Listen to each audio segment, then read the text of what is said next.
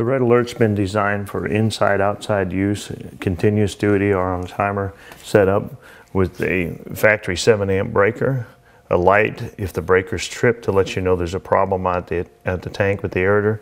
It's designed for shaft style aerators like the Flagg-Air 340 HT and the other shaft style aerators that are out there. So if you run it continuous, obviously your switch is on continuous. If you want to run it, if you want to turn it off to cut the power going out to the unit, you can turn it off. And on and auto is for the timer. So it's a simple little timer to set. Open it up and inside of here you have your power coming in and your ground. It comes from your panel box. So when you hook it up, you'll hook a breaker to it from your panel box. And then these two leads go out to the aerator. So it's really simple. What you have to be careful about, all this, if you have the power on is hot in here, you don't want to fry yourself. All right, so the first thing we want to do is cut the power to the breaker. So we don't have any power in here now. This is your incoming power and your ground, and this is outgoing power and ground, okay? And then we're gonna change the supplied breaker that was in with the Flagg-Air 340 HT. Okay, so we got supplied breaker, our power's still off.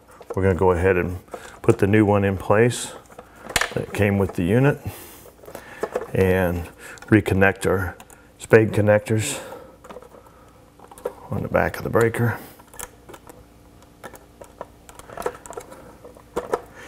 And then on this particular panel, we have continuous, off, on, or auto. So we're going to turn it off for now, and then we're going to turn the breaker back on. Check our power going in and out of the timer, both uh, on continuous mode and on the timer. So we have the proper power going to it and nothing coming out. So let's go ahead and switch this up on auto with the proper power coming in. Now we're going to check no power coming out. On this timer, you set it according to the day. For example, there's 3 o'clock in the night, okay, AM, this way, it turns that way. 3 o'clock in the night, and you can see 3 o'clock, so 3 o'clock in the morning.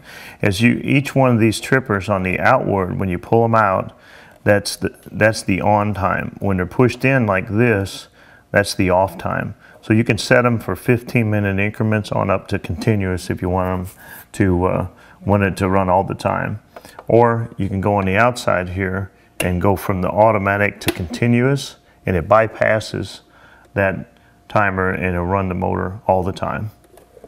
So we've checked it out. We had the proper power going into the control panel. We have the proper power going out of the control panel to the aerator. Now we're going to go out and check the aerator, the power to the aerator, and make sure it's the same.